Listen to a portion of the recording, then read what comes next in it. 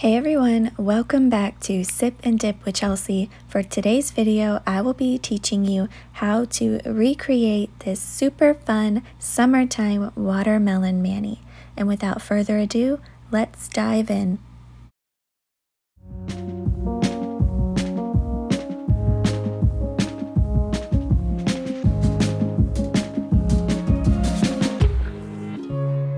For today's video, I will be using Sparkle and Co liquids, I'll also be using a 180 grit nail file, a makeup brush, a toothpick, and a buffing block. For the watermelon nail art, I will be using this set of brushes that I got on Amazon. I will have them linked down below. I'll be using four different colors, so I decided to just go ahead and grab four different brushes. For my nail art, I will be using just simple acrylic paint that I got at Walmart. It usually ranges from 50 cents to a dollar. I will have the colors listed down below in case you're interested in the exact color, but it's just simple pink, green, white, and black acrylic paint. For my base dip color, I'm using Aloha, which is from Revel. It was part of their Wanderlust collection, and as you can see, it's gorgeous creamy pink. To encapsulate and protect my nail art, I'll be using Revel Nails Vivian, which is their clear dip powder. To start, you'll need your base bond, your powder, and a toothpick. I have already prepped my nails, so if you'd like to see a video on how I prep them, I will have that link down below. But for now, I'm going to just fluff my powder and get it ready for application. For this video, I decided to do three full dips. So with my finger pointed slightly downward, I am just being very cautious around my cuticle area, being careful not to get any of the base bond on my skin, and making sure I cover my entire nail.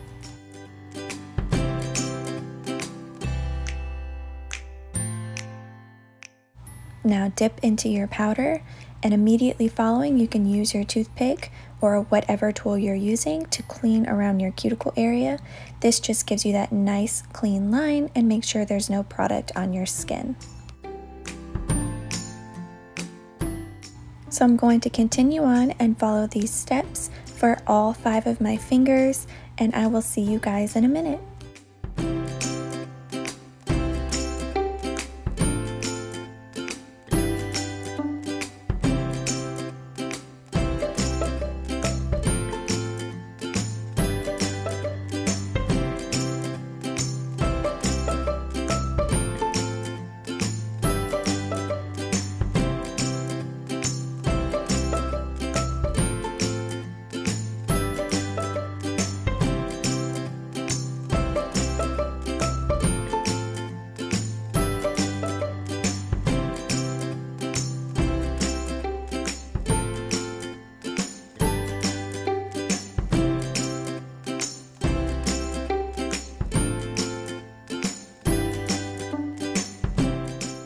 Now that you're done with your first layer, you can dust off any excess powder.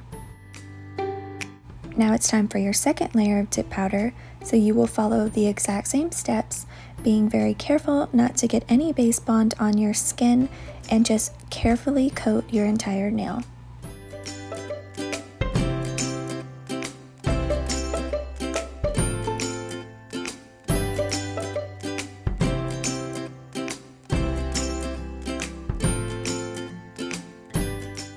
Key to having your dip powder nails not be too bulky is making sure that your liquid is thin and that you don't have a lot of it on your brush. So every time I go to do a layer, I make sure that I wipe off my brush as much as possible before I put the liquid on my nail.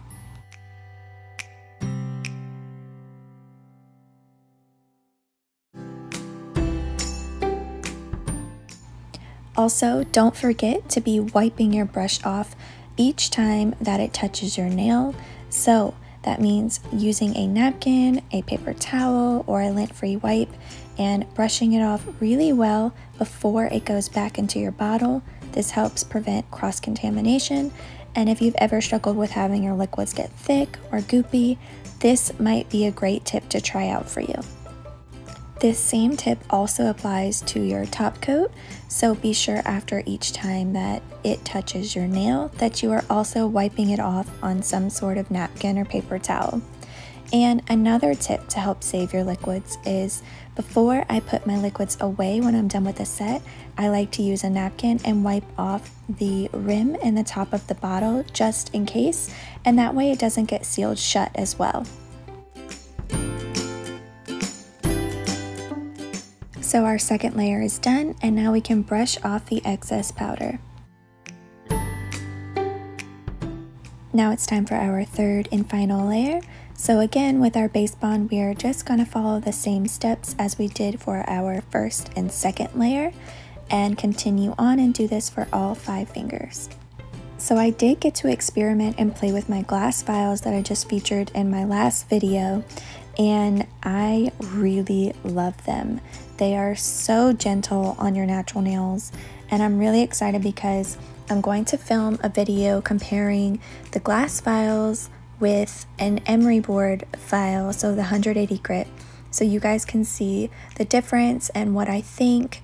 And I'm just super excited. I used them again for this set and as you can see I feel like my shape is super crisp, like my lines are very straight and I don't have any rounding on the sides, which is something I struggle with when I shape my nails.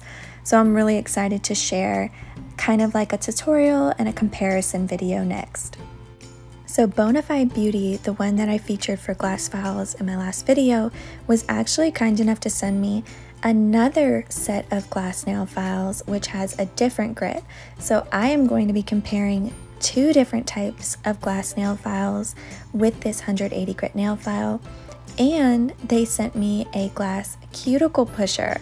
So I'll also be showing you guys that. So I'm really excited about that. And you guys are going to die when you see these glass files that she sent me. Like if you thought the last ones are cute, you guys are going to be so blown away by this next set. Okay, so we are done with our third and final layer. We can put away our base bond, put away our dip powder, brush off any excess powder, and move on to our solidify. So with your solidify, you will apply a very generous amount to all of your nails. This is okay to get it on your skin. This is what's going to activate and harden your dip powder.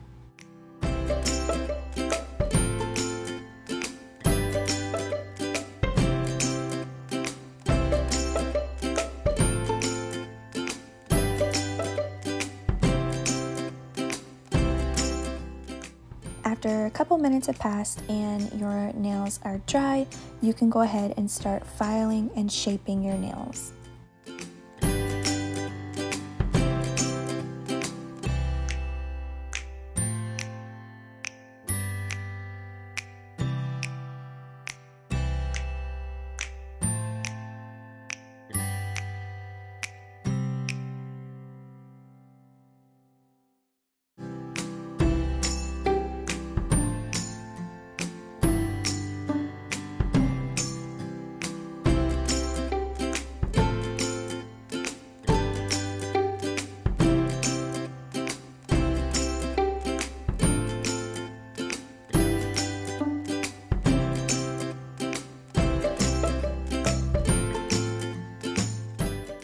So once you're done filing your nails, you can move on to buffing them.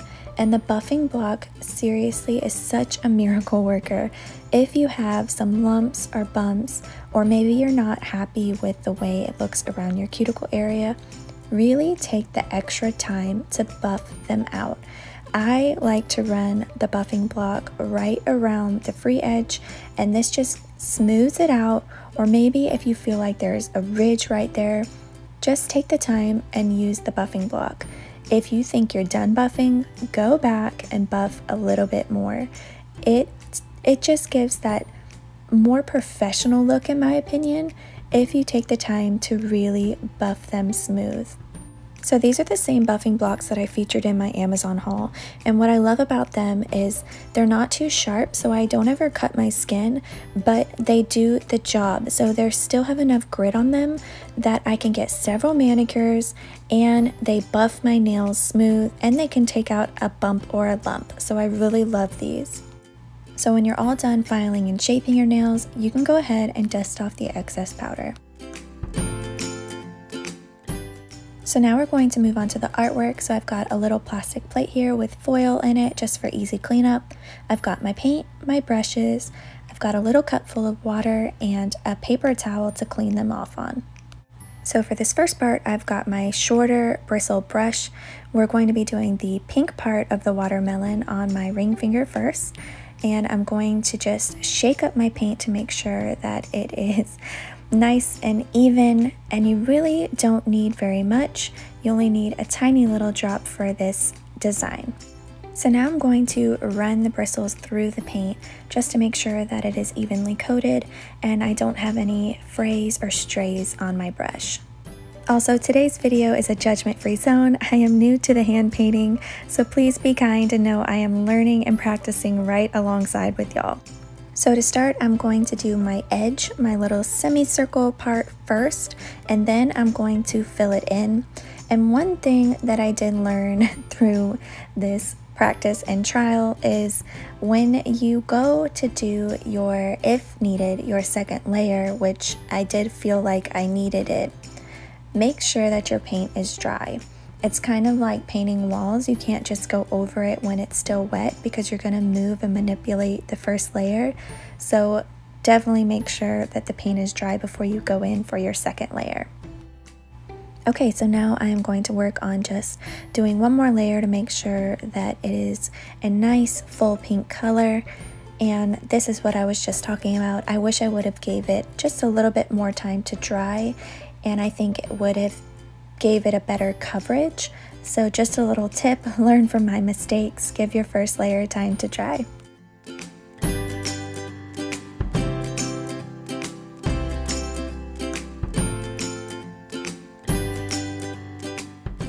So now I'm going to move on to painting the pink part for my thumb and I'm going to follow these same steps. Start with doing an outline and fill it in.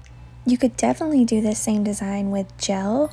I think it would probably look so much better because gel seems to be very forgiving. Like it, it is still movable until it is cured. So if you have gel, totally give this design or maybe even play around with some other cute summer designs with your gel.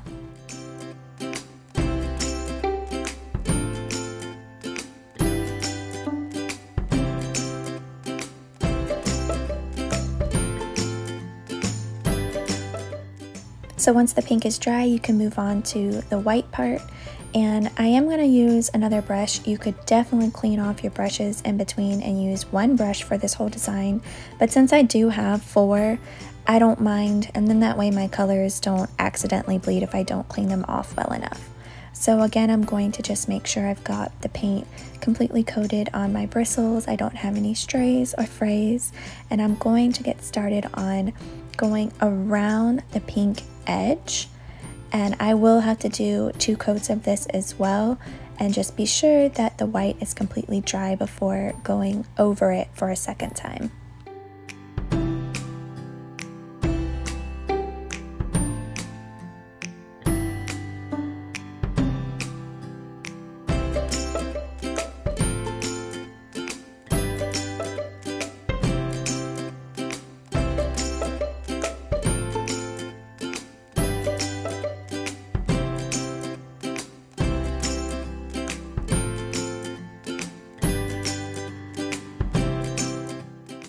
So, major props to all of you ladies and gentlemen out there doing hand painting because it is not easy. I'm trying to figure out the best way to keep my fingers still and steady. I did order some products that might help me with that. They should be here within the next few weeks. So I'm really excited to show you guys that and give them a try. So maybe it'll help me with my next painting attempt. So once the white paint is dry, I'm going to go over them one more time for a second layer so that my white is nice and bright and opaque.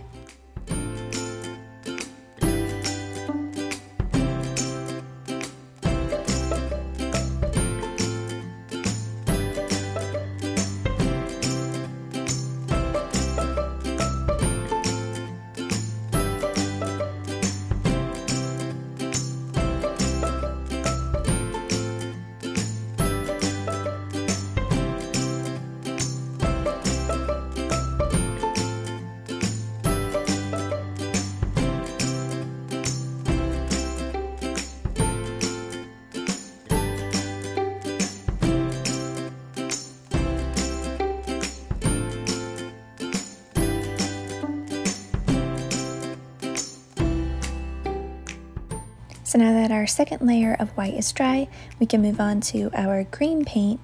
And again, just a tiny little drop will do. And I've got my new brush and I'm going to trace right around the white edge.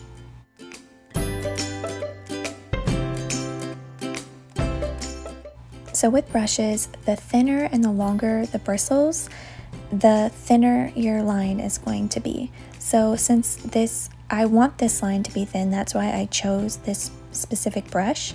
And at the beginning you saw I chose a shorter bristle brush for the pink because I was going to be doing some filling in for that section. So when you choose your brushes, that might be a little bit of a tip and advice that I could give.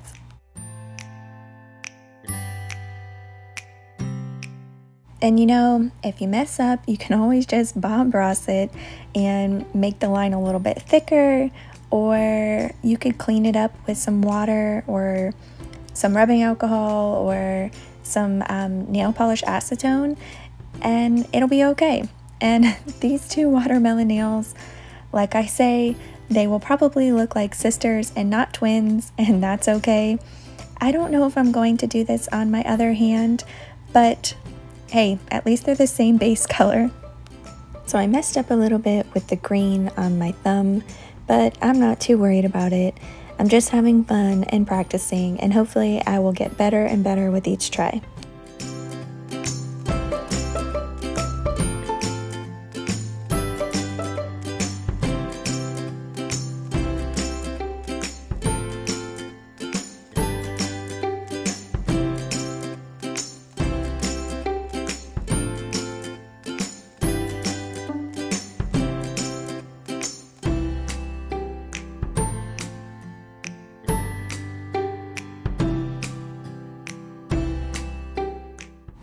Okay, so let's move on to our little watermelon seeds. So for this, I am using just a simple black color. And again, I've grabbed a new clean brush just because I have them, but you could definitely clean your brushes off between colors and reuse brushes. So I'm just kind of placing them where I think it would look good, no rhyme or reason. I'm starting at the top corner and then I'm going to make my way down and just space them out how I think it'll look good.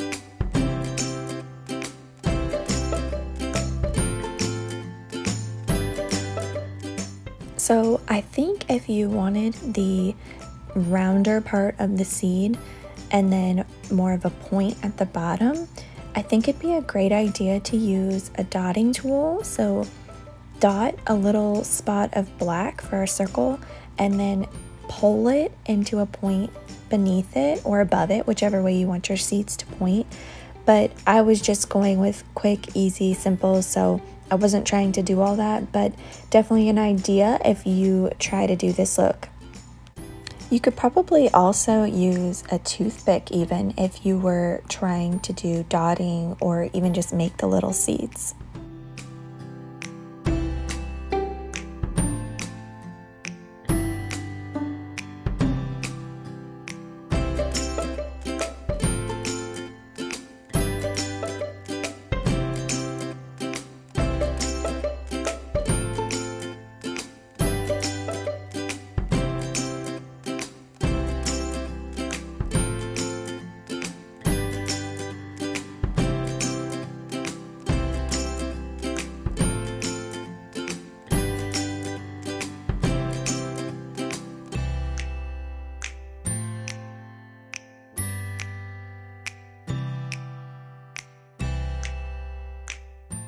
So now I'm going to let my artwork dry and I will see you in a minute to clear encapsulate. Okay, so everything is dry. I've got my clear dip powder, I've got my base bond, and I am going to just encapsulate my artwork, so just the two nails, not the other ones, and this will help protect it when I go to file and buff.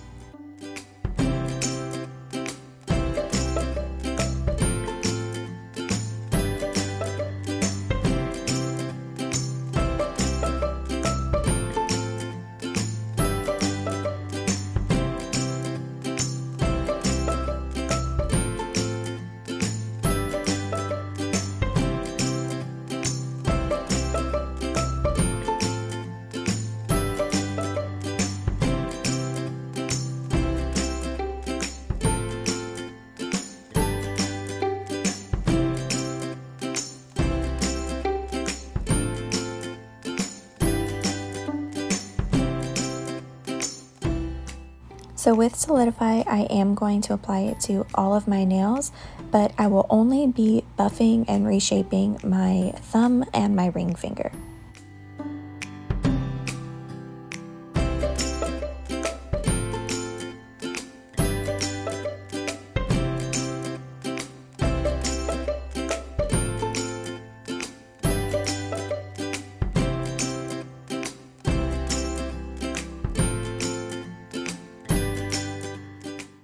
So now that it's dry, I am gently buffing over the clear dip powder.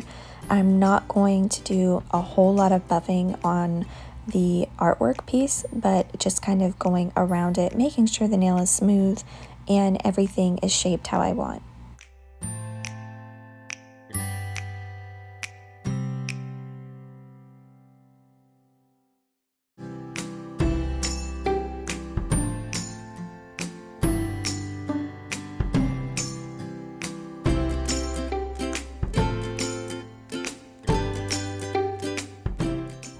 Okay, so now it's time to apply Solidify. This will be your last layer before you move on to your top coat.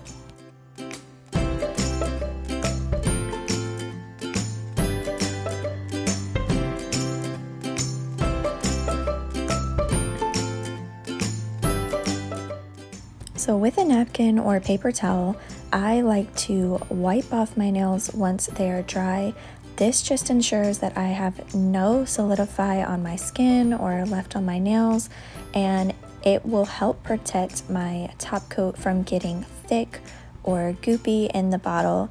It's just an extra precaution against cross-contamination. So with my Glossy Coat 2.0, I am going to apply my first layer on all of my nails, being careful not to get any of this on my skin. So a little trick I like to do, and you'll see me do it right here, is I pull my skin on the sides down so I can get the brush all the way to the edge. And then that way I'm not getting any of the liquid. And you can see right here, I'm holding my finger on the side right there. And that just gets the brush all the way to the side without getting it on my skin.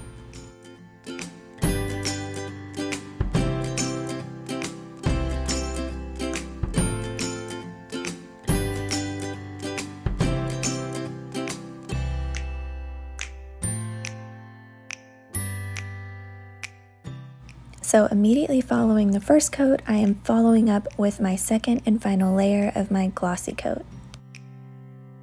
Also, be sure that you are wiping your brush off on a paper towel or a napkin or some sort of lint free wipe so that you are not adding anything back into your bottle. So, a random little fun fact for you guys is I actually had more chipping and issues in the corners of my nails at the free edge when I had shorter nails, and that's because it's difficult to get your brush all the way around into that edge. And with longer nails, I can go all the way around without touching my skin. So if that's something you struggle with and you have shorter nails, if it's possible, maybe let them grow out and see if it helps. Okay, so I am all done with my summertime watermelon nails and I'm actually really proud of myself for trying this. I usually just go straight to decals because it's my comfort zone, but I encourage you guys step outside of your comfort zone and give something fun a try. So after about 10 minutes have passed, I like to follow up with my favorite cuticle oil. I am obsessed with this. You guys have seen me use this now. I can't believe I've been using a different type of oil for the past three years, and I really didn't know how bad it was until I tried this. Paying the money for a quality cuticle oil is such a game changer. It's not sticky, it's not oily, it's not greasy. It absorbs into my skin like pretty much as soon as I'm done applying it.